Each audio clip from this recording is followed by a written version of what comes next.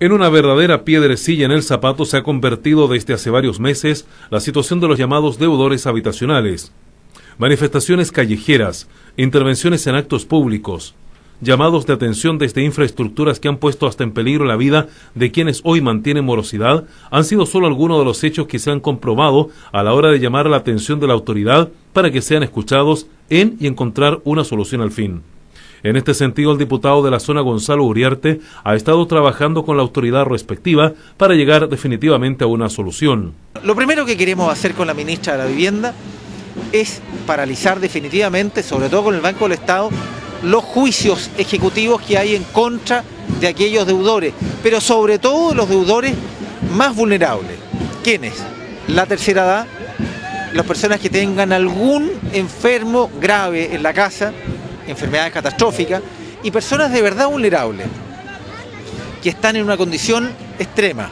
A esas personas en primerísimo lugar tenemos que resolver el problema, parando cualquier juicio, cualquier remate, pero al mismo tiempo, ojalá dándole por pagar la deuda. Acá tenemos mucho, hay muchas villas donde hay muchos abuelitos y muchas madres solteras que vienen arrastrando hace tiempo problemas crónicos y que lamentablemente no han podido salir de eso. Así también señaló que se ha comprobado casos donde ha habido aprovechamiento del tema. Se ha detectado muchos casos donde hay abusos, donde hay personas que tienen rentas superiores a los 400 mil pesos y sin embargo no han cumplido el copago, están atrasados. A esas personas les quiero decir que tienen un plazo, que estamos trabajando por darles un plazo, pero no puede ser un plazo indefinido. Plazo para que ellos se pongan al día. ¿Y para qué? Para que den por terminada la deuda, total o parcialmente. El presidente de la Comisión de Viviendas de la Cámara de Diputados dijo que semanalmente se evalúan las distintas posibilidades de solución en conjunto con los profesionales del Ministerio de Hacienda.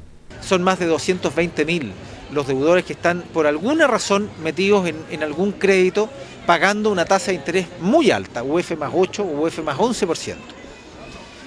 Por lo que hay que esperar, vamos a seguir trabajando, estamos comprometidos con la ministra con una agenda semanal, trabajando intensamente con la gente del Ministerio de Hacienda para poder primero poner sobre la mesa los distintos tipos de deudores que hay.